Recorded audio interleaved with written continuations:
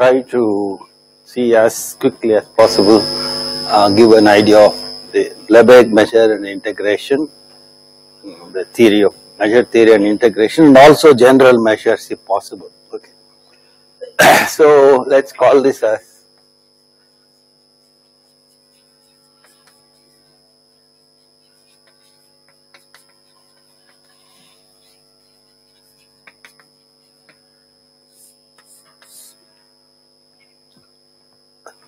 before I really get into the formal uh, treatment of the subject, I will do a bit of uh, intuitive heuristics discussion, which will uh, guide us what uh, we are heading for. Okay, so let me write it as some intuitive and call, uh, may call it heuristic uh, look first. Okay. So the first question of course, what is measure theory? Okay. So, so let's even forget about integration. So what is measure theory?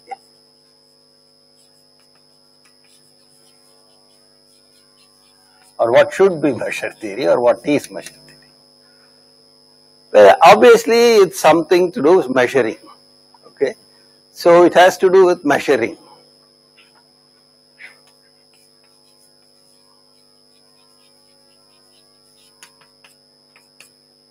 So then the question is measuring what? And why do we need a theory for it? And that these are some of the questions that may naturally be asked. Why theory? Okay. So what we'll do is we'll get back and see what what were the first thing, few things that uh, man started measuring. Some of the earliest things that we measured were line, uh, length, area, and volume. Okay, the early measurements were like line, I'm sorry, area, uh, length, area, volume, etc.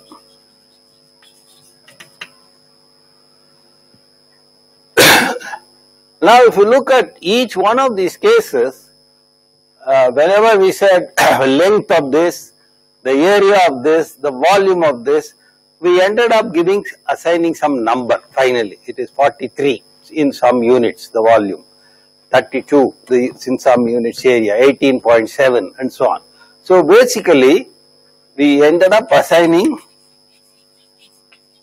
at least in the early days, okay, assigning positive numbers, okay, the area cannot be negative, volume cannot be negative. Later we become wiser and say we can do that also if you want, okay.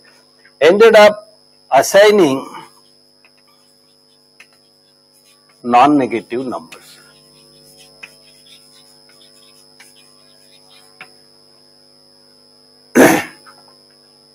To the to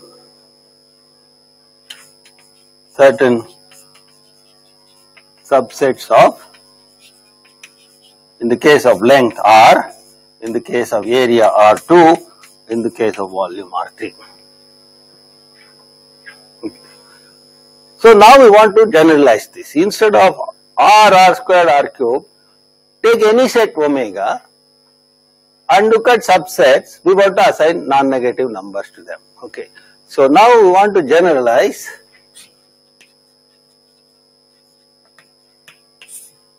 take any non-empty set omega and well at the, let us be very ambitious to start with and then maybe some constraints will put some restrictions on what we are asking for and all. And for each uh, E in omega, we want to assign a non-negative number.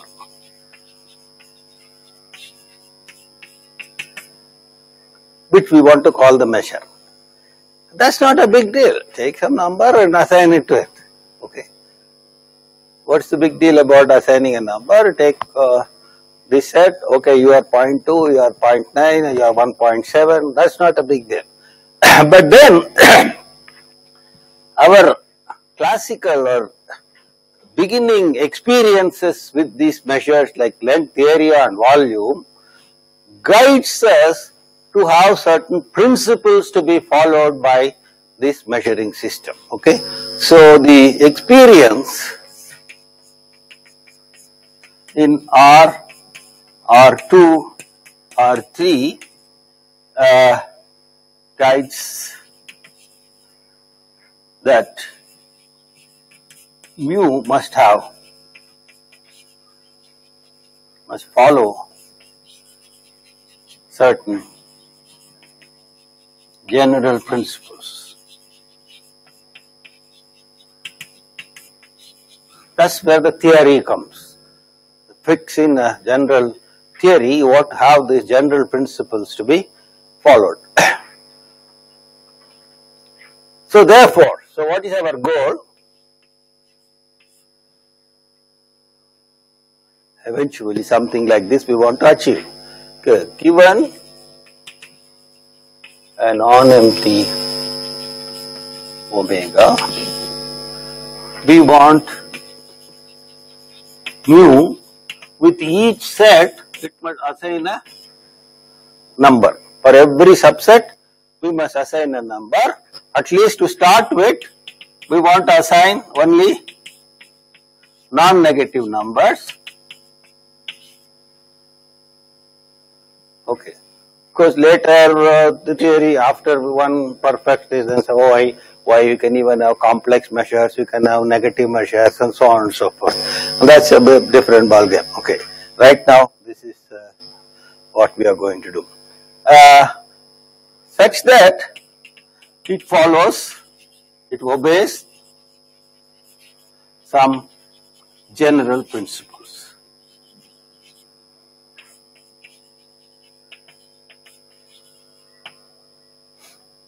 Okay.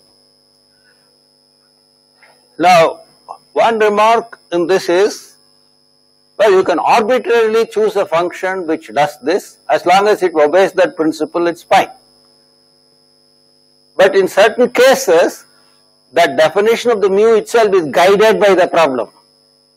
It guides, this is how you should define it here, this is how you should define it here, this is how you should define it here, and therefore how do you define it in other places. So the, uh, the remark that I will make here is,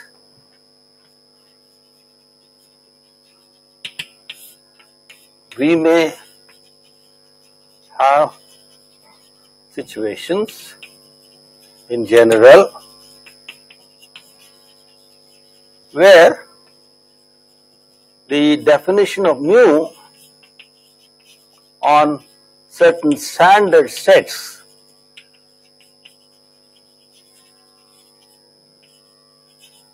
will be guided by the problem, will be dictated by the problem. Dictated is more powerful. Problem says that this should what it should be. The problem one.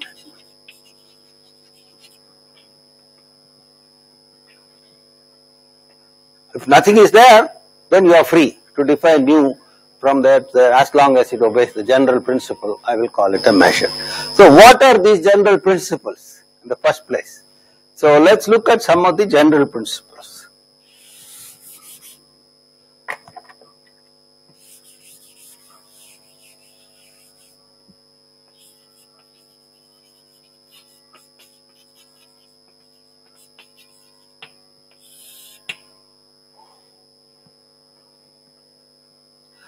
Now if you look at, we go back, I said these general principles are guided by our experience with length, area, volume, etc. So let's go back and look at the length, area, volume, etc. See, suppose I have a long piece of thread or wire or whatever it is, okay, and I say its length is 10 centimeters. What exactly do I mean by that?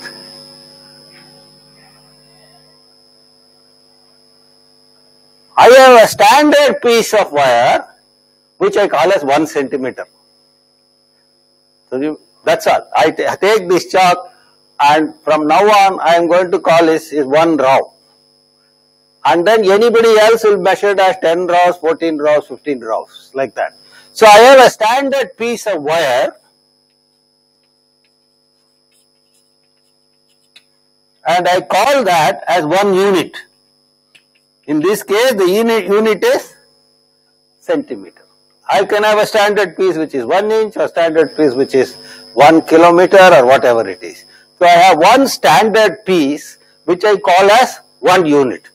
Once I have that then when I say this is 10 units it means I can actually cut it into 10 such standard pieces or it is made up of 10 such standard pieces. So made up of 10 standard pieces.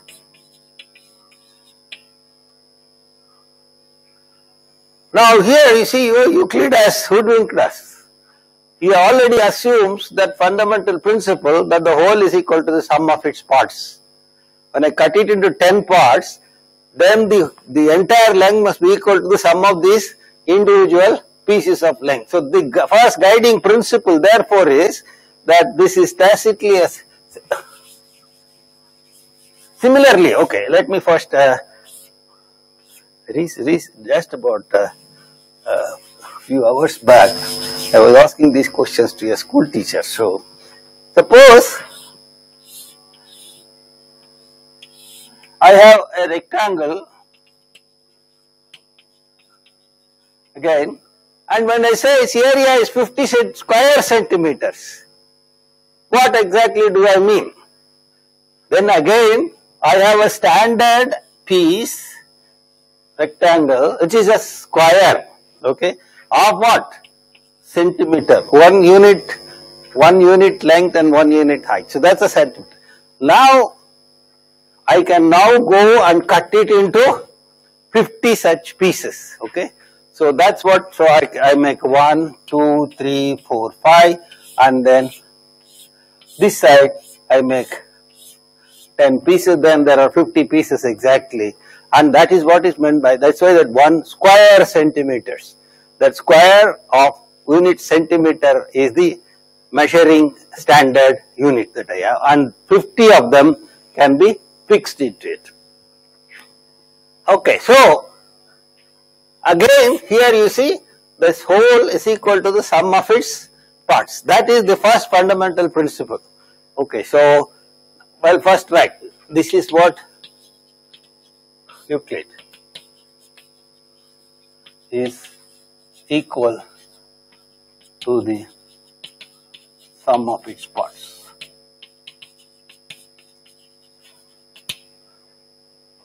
And uh, remember these parts are distant parts. You don't uh, count the same thing again and again or you put the two uh, standard pieces uh, coalescing with each other and saying I will count here once I count here. So basically they tacitly assume that these are disjoint parts.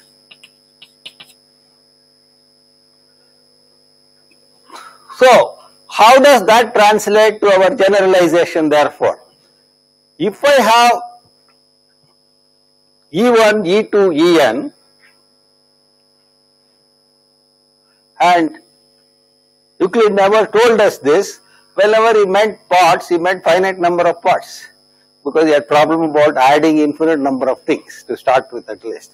So therefore, the first guiding principle here is if I have E1, E2, En subsets of omega, then their union, the whole must be equal to the, the mu of the union must be equal to the sum of the mu's. So the first requirement therefore is what does that translate into? So for mu this becomes E1, E2, En uh, okay I will. Belongs to I will first write this 2 to the omega. Implies mu of j equal to 1 to n ej is summation j equal to 1 to n in each.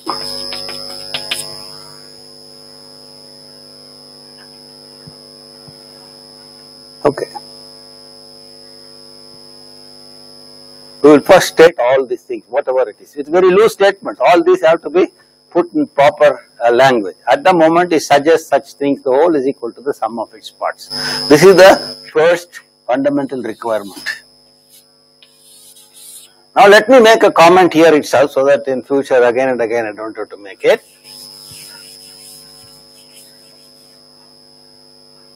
I wrote a remark here that in some problems the definition of mu will be dictated that it should be defined in a particular way on certain subsets.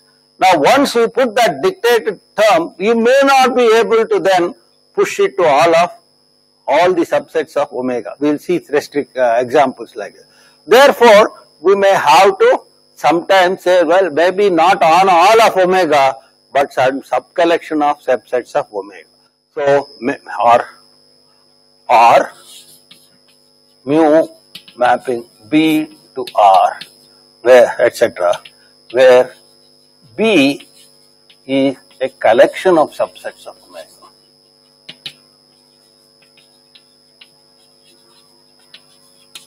But may not be 2 to the power of omega. And this is what happens in the Lebesgue measure. But if you have other measures like counting measures and all, you can do that. Um,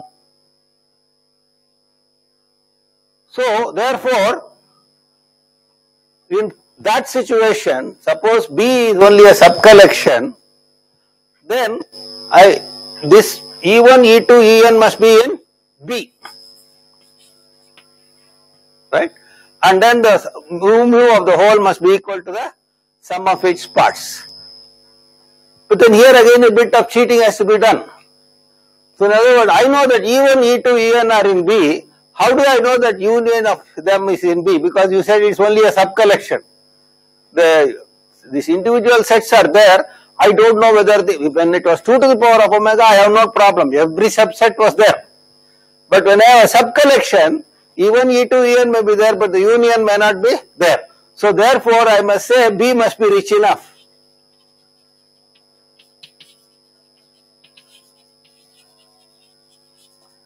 What is meant by rich enough? At least one requirement is that even implies union j equal to 1 to n ej belongs to B and the whole equal to the sum of the parts must valid. Okay. So therefore, when you are when you are trying to measure only on a sub collection of sets, we must make sure that that sub collection is rich enough that when I take a finite number of those fellows and take their union, that union is also there. There is one thing that I, they are disjoint because the parts have to be disjoint. Otherwise, this will not be true. Otherwise, it's called subadditivity. We will come to that. So, one fundamental principle we got, namely that if you are going to define mu on a collection of subsets of omega, first of all make sure that subcollection is closed under finite union and the whole is equal to the sum of its part is valid. So, okay, so so therefore, we will write it here. So if we want, we want to define mu mapping omega to r, we must make sure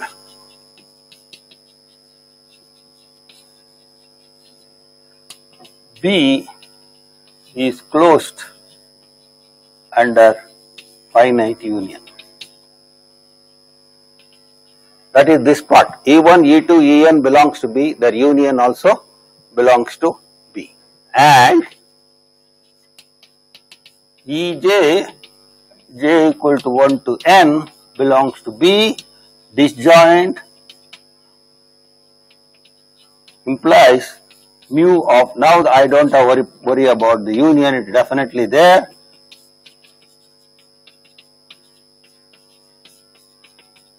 This principle must be valid. This is the first principle that the real numbers suggest.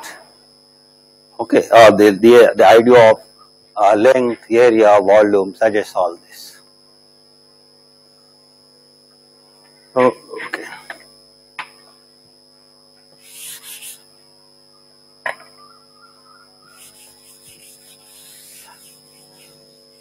Now there is a stumbling block for uh, Pythagoreans. The whole Pythagorean school was a little bit rattled by this.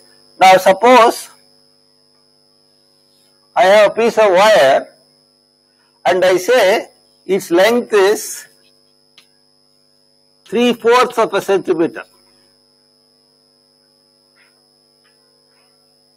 Now what do I exactly mean by this now? I can't say I put so many together to get this.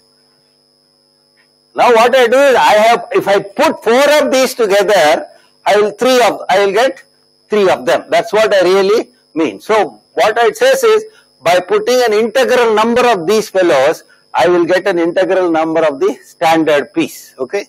By putting an integral number of these pieces of wires, I will get another integral number of the standard piece.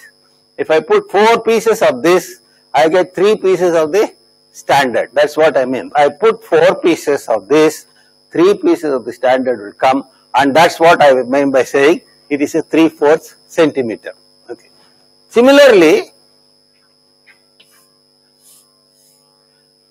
and again there is this whole is equal to sum of these parts. I put these four pieces, the total must be equal to 3 so therefore the individuals added together is 4 times this piece must be equal to 3. So this piece must be equal to 3 by 4. That's what it, uh, it boils down to. Okay. Similarly in area, if I say the area uh, is 4 fifths square centimeter. What I mean is I put 5 such pieces, I will get 4 standard pieces. Okay. So whenever it is not necessary that I put an integral number of this, I will get uh, 1 centimeter or 2 centimeters. As long as I put an integral number of this, I get an integral number of the standard piece, that I can define the length. However, they, they got stuck with the following situation. Namely, I take a standard piece of wire 1 centimeter. I put another standard piece of wire perpendicular to it and then I try to measure this distance. Okay. And Pythagoreans thought everything is commensurate. Somehow or the other I can put an integral number of these pieces to get an integral number of 1 centimeters. And that's not true. That's where they got stuck. Okay. The whole Pythagorean school was beaten by the Pythagoras theorem itself the Pythagoras theorem itself with the commensuration idea of the Pythagoreans. Okay. So this is what we today call as square root of 2. Okay. No matter how many integral multiples of square root of 2 you take, you won't get an integer. Because this is irrational, multiplied by rational will always remain as irrational. That all we know now. They didn't know at that time. So that therefore, this created a problem. How do I now define the length of this? Okay. Similarly, for example, when I say this is m and this is n, I say the area is mn if they are integers. Okay.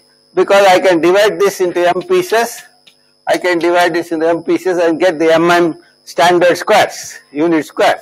But if m and n are not integers, if m is square root of 3, and n is square root of 2, you are not able to put these things together to get a standard number of the uh, integral number of the standard pieces. So these things created a problem, okay. And the more problem was, if I have a circle, the major problem, how do I find the area of the circle? Okay, no matter how many squares I try to fit, still there is a gap because you are having linear uh, things trying to fit the curve. In fact, a, the, the original first method was due to Archimedes. He called it the method of exhaustion. what he did was, well, basically uh, the general argument was, if you know, how, if I know the standard square, I know basically how to measure the area of a rectangle. If I know the measure of rectangle, I know the measure of a right angle triangle, half of the full triangle, rectangle. So if I, basically therefore I know how to measure the area of a right angle triangle. If I know that then any triangle I can split it into two right angle triangles. I can measure it. So I can measure any triangle. So triangulate. Triangulate the whole rectangle. Go on. If I know triangles, I can measure any polygon because I can join them at the center and then make them into triangles. So I can measure polygon. So fit polygons inside the circle and then go on improving that polygon fitting bigger and bigger. Okay. And he called it the measure of exhaustion because you get exhausted and the area also get exhausted and you get the area. But how do you, how do, what, what are the principle involved in all this? What he is doing is, I want to measure something, I have a set, what I am doing is I am taking slowly pushing towards that. I am having a smaller set inside that, then taking a bigger, then a bigger, then a bigger. So, a sequence of sets increasing to the given set. What is meant by increasing? At the end, the union of all these sets will be the original set. Then, the limit of these areas will be the that area. So, this is a principle which is uh, rather unassumingly put into this, okay, never uh, clearly uh, put into the hypothesis. So, this principle is called, so the method of exhaustion. The method of exhaustion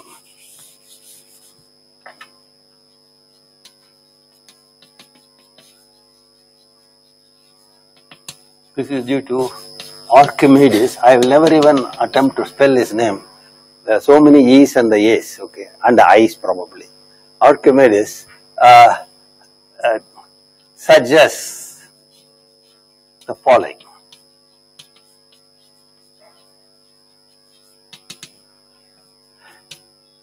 En, a sequence of sets that you can measure and they are slowly increasing. En is contained in En plus 1.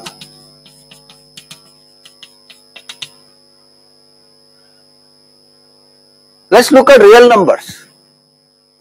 Suppose a sequence of real numbers E1 less than or equal to E2 less than or equal to E3 etc.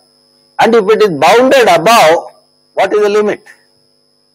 Which is the least upper bound, a sequence, non-decreasing sequence, the limit will be the least upper bound. Now similarly, now in this ordering of this partial ordering of su subset are equal to, I have a non-decreasing sequence. If this is bounded above, then the least upper bound will be the limit. That's how we should limit. This is obviously bounded above by the union and that is also obviously the least upper bound. Anybody not, not the union cannot be the least upper bound.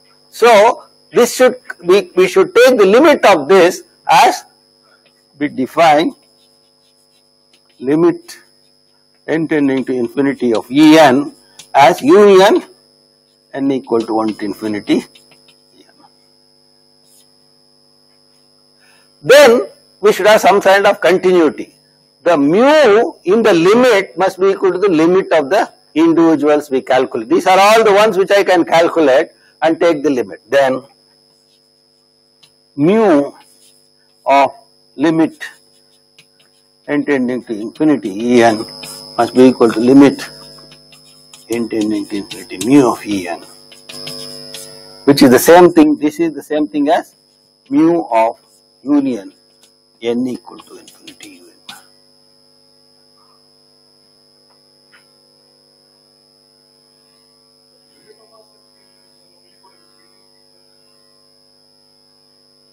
We can define lim sup and lim inf, but not limit. Limit, even in real numbers, we, we do not know for a general sequence whether we can define a limit or not. For any general sequence, we can define lim sup and lim inf. And for monotone sequences, we can definitely define the limit. If lim sup equal to lim inf, then limit exists. Now, I am right now I am seeing what what happens in the Uh, what we did classically in areas and volumes, etc. And see those guiding principles. So, this guiding principle is called mu must be continuous from below.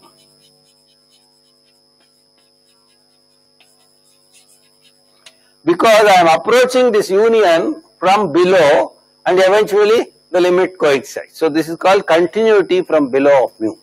So, the second principle is that mu must be continuous from below. So, the first principle is that the whole is equal to the sum of its parts and the second principle is that mu must be continuous from below. These two guiding principles are the starting guiding principles. But now, here again, there is something tacitly assumed.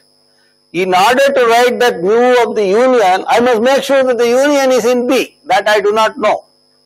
Okay. So, the B must be rich enough that whenever you have a monotone sequence of sets in B, their union is also in B. Okay. This presupposes, this also demands that En n equal to 1 to infinity belong to B, En contained in En plus 1 implies union n equal to 1 to infinity, Un also belongs to 1. Look at the difference between this. The first one demanded whatever finite things you chose, it must, the union must belong there. But when I am taking a countable union, at the moment I am only demanding that as long as those sets are monotone, their union must be there. I am not at the moment demanding that arbitrary countable unions be there. I am only demanding that monotone sets, their union must be there. Okay. So, there are two things going side by side. There is certain amount of richness that is being there, uh, demanded of the class of sets on which you want to define the B and there is a certain amount of behavior, uh, uh, regularity behavior on the measure that you are going to define. So, the regularity behaviors are the whole is equal to the sum of its parts and continuity from below. That the richness of the class on which you want to define is the fact that it is closed under finite union and it is closed under countable monotone unions. Okay, non-decreasing union. These two are the uh, two principles that we have to keep in mind. One on mu and one on the class of sets on which you are defining mu.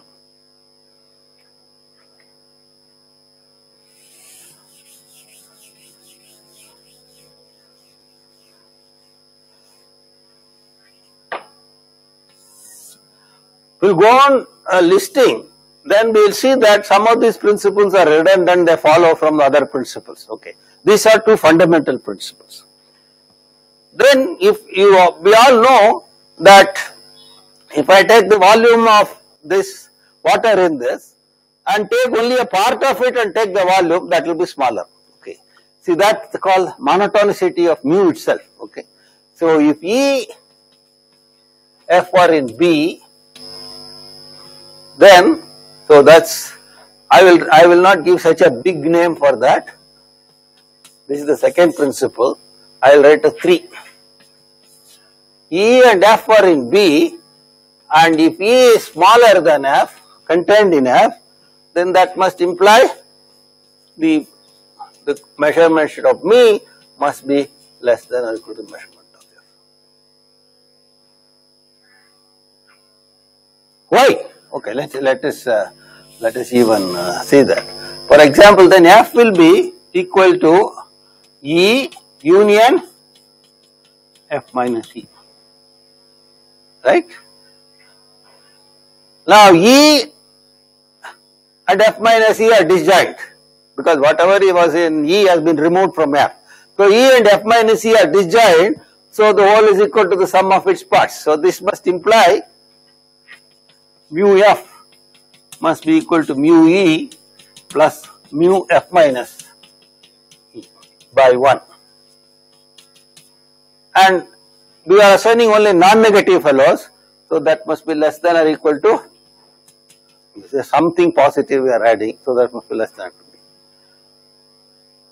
Again there is something subtle, let us assume we are taking that f minus e is there, how can I can measure f minus e, I know how to measure, it's this only says I can measure e, I can measure f, but how do I know that measure f minus e, so that is one of the richness that is demanded by the, uh, uh, so B must be rich enough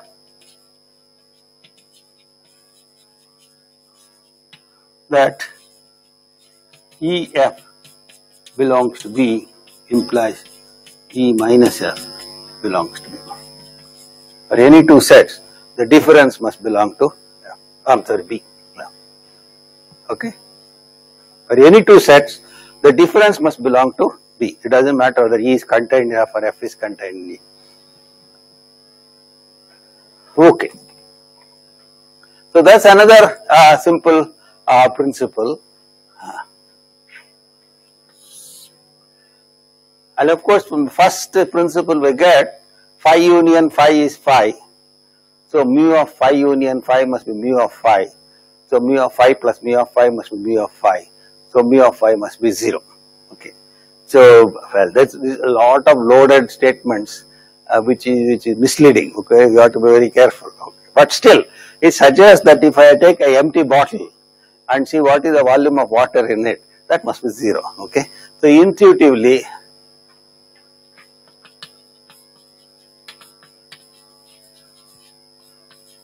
mu of phi whatever that means we will see later.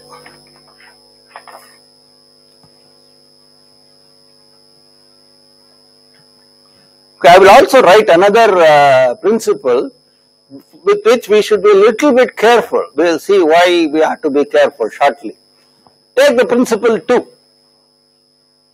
In the principle 2, we have a sequence of sets which are like this. E1, En, En plus 1. En is inside, En plus 1. They are, they are ballooning up. Okay. Now suppose I take a balloon and start removing the air. Okay. So the ballooning down sets. So suppose I will write it as 2 prime. What about the dual of or just simply I will write the dual of 2. I will I will not use the word what about and we will uh, we'll see what happens. The dual of 2 will be I must have u e n n equal to 1 to infinity in B. Now instead of decreasing they must be increasing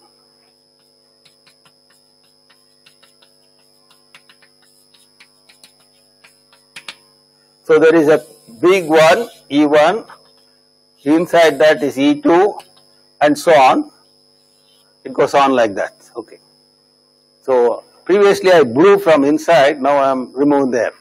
Okay.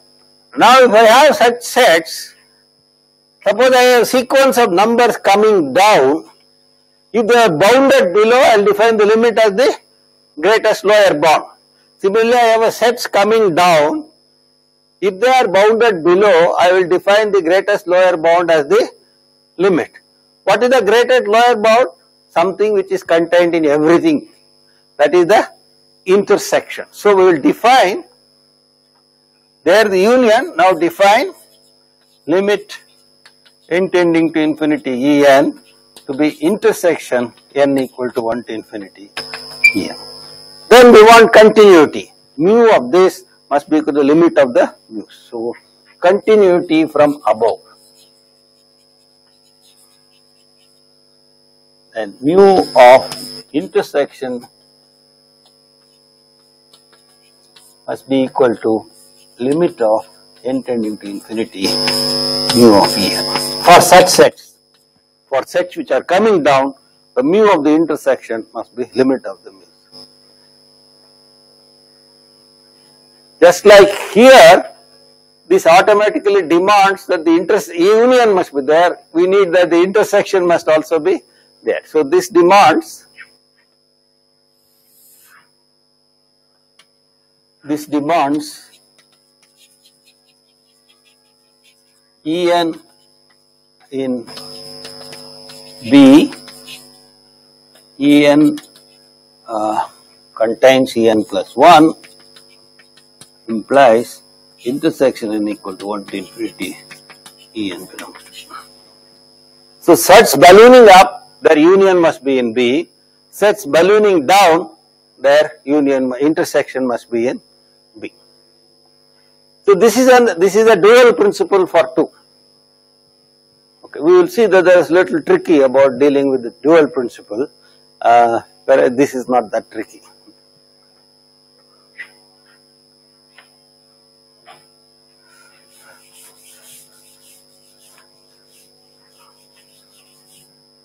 In fact, uh, I, I, made uh, one small mistake when I wrote mu b to r, I must write b r star. The set may have infinite measure. For example, if you take the whole real line, its length is infinity. So I must allow plus infinity also. Okay. R star is the extended real value where uh, infinity is also allowed. This is a little bit, uh, we have to handle these infinities here carefully.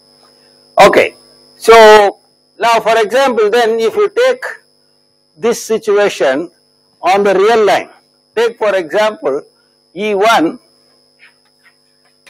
to be the interval 1 to infinity, E2 to be the 2 to infinity, in general En to be n to infinity, the interval, okay. All the lengths are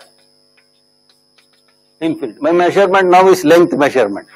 All the lengths of are infinity. So, the right hand side will be infinity, limit of n tending to infinity, length of En. Each one of them is infinity. So, the right hand side is infinity. So, RHS in 2 prime is infinity. But what about LHS? The intersection is empty because slowly we are moving away every point is being removed. Up to 1 removed then up to 2 removed up to 3 removed all the points are removed. And therefore LHS is the length of the intersection which is 0 and those two are not equal. Okay. So when such infinite measure cases 2 prime will give problem. And the infinite measure cases the 2 prime will give problem. So 2 prime when you are dealing with probability theory, it's okay. Only finite measure cases we can, all the measures are finite, uh, then that can be proved. So in probability theory, 2 prime will be valid. In general finite measure spaces, 2 prime will be valid. But when some of the measures become infinite, this whole thing will not be valid. Because if one set has measure infinity, it is going to create problem.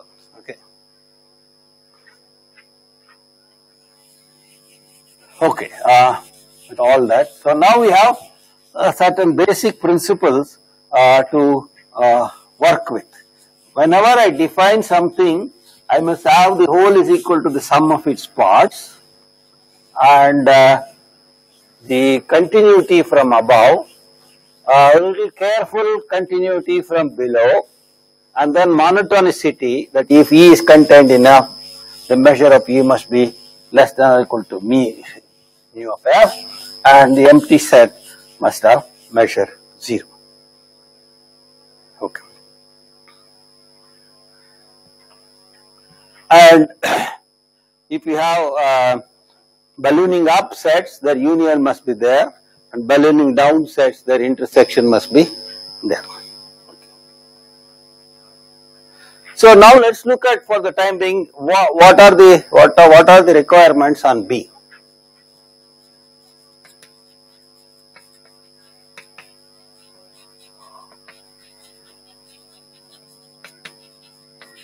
far. Are saying B is rich enough. Now some of the aspects we got. obviously it's non-empty if you are if you are, we are measuring some things okay so b is a non-empty collection one b is a non-empty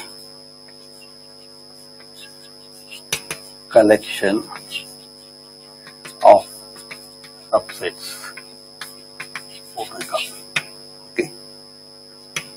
such that what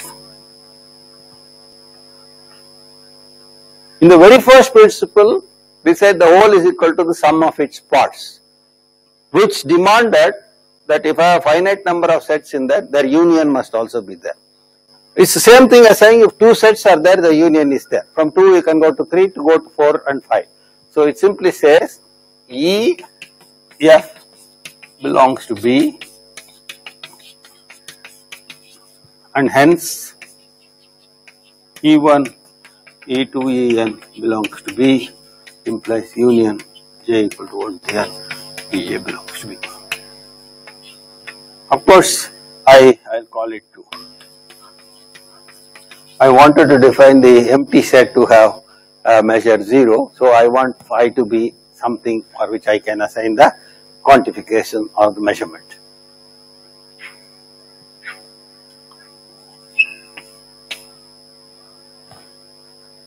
The third requirement I said was that if ENs belong to B and they are decreasing, then the union must also be in B.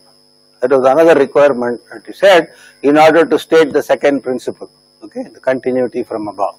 And the dual that we had for this was the following.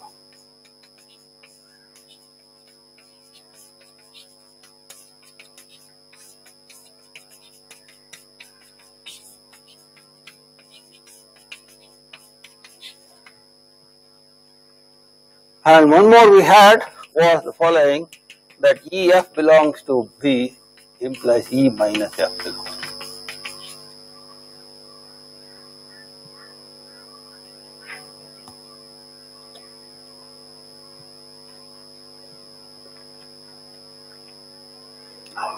At the moment, these are the things that we have we have got. This is at least some of the requirements that we need on the collection on which we are going to assign these quantities. If they assess the uh, collection is not this rich enough, then all the fundamental principles are violated.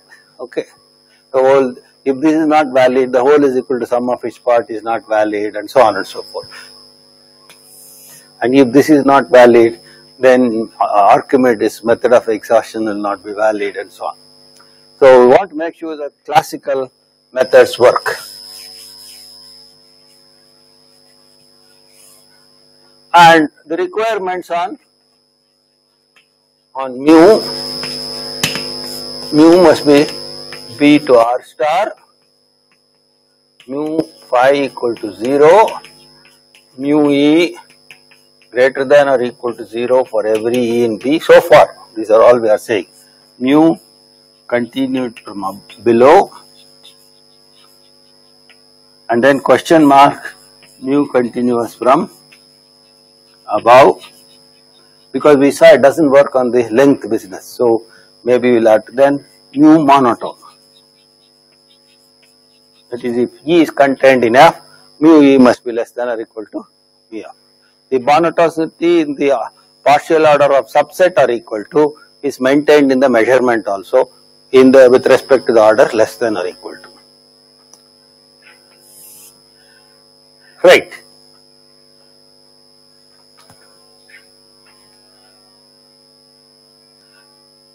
Now there is one, uh, okay.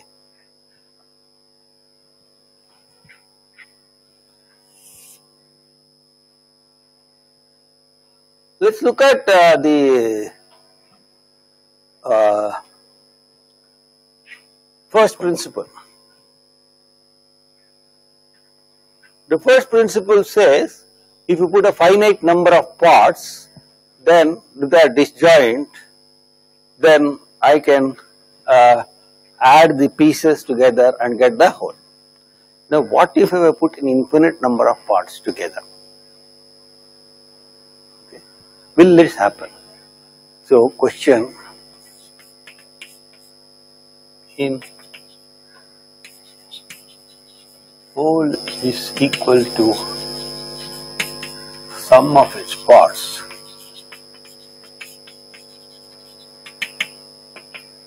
We replace finite number of parts by infinite number, countably infinite number of parts.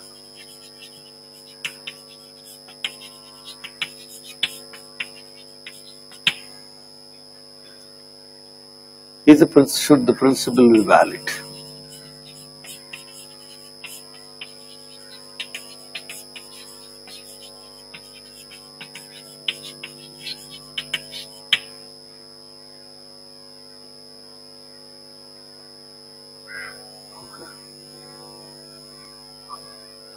Let's take for example 0 1. The length is what? What? Standard length. Now I will define the first part is this half. The second part the half of this. Okay. The third part is half of the remaining. Now there, there I get an infinite number of parts. If I take the union, eventually I would have covered all the points. So now I have got the whole is equal to this. Now what are the parts? This, what are their lengths? Half plus half squared plus half cube. That total sum is again 1. So therefore the whole is equal to sum of its parts seem to be working even in a countably infinite situation. At least we see one good simple example in which it works. So here if we do like this, then En mu of union n equal to E, En is equal to mu of 0 1 equal to 1 which is equal to the sum of the mu of Ens which is equal to sum n 1 by 2 to the n. Okay, so therefore, yeah, there is hope. There is hope that the mu, uh, the whole is equal to the sum of its parts will work. So the question therefore is we'll ask the uh, 2 double prime. The dual of 2 was 2 prime.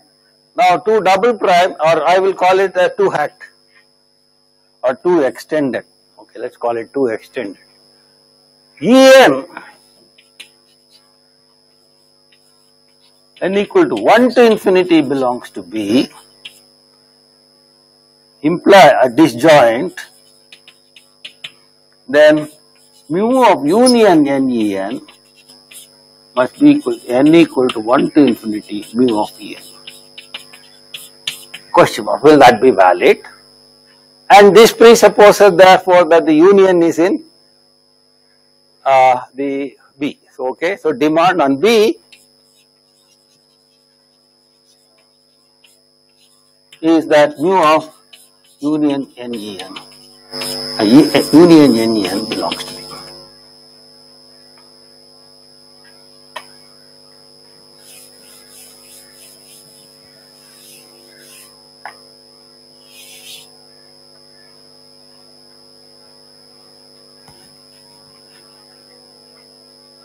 Okay, so now we are trying to push it to an infinite number of parts. Okay.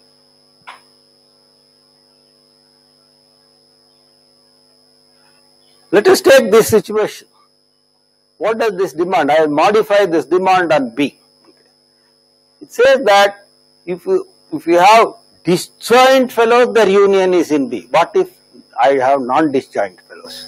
So I am going to see, for example, uh, here I wrote that any union is in B. It's enough if it's disjoint. So what we will first see is that any union can first of all be written as disjoint union. Okay. So first note any union, uh, any countable union can be written as disjoint union. First of all, we will not bother about whether they are in B or not. Take any any subsets in omega and we show that their union can also be written as disjoint union of subsets of omega. For example, I have say A1, A2, they are all sets in um, omega. They are all subsets of omega. So all these are subsets of omega. Let's call K as the union of n equal to 1 to infinity uh, an. Now these these need not be disjoint, not necessarily disjoint.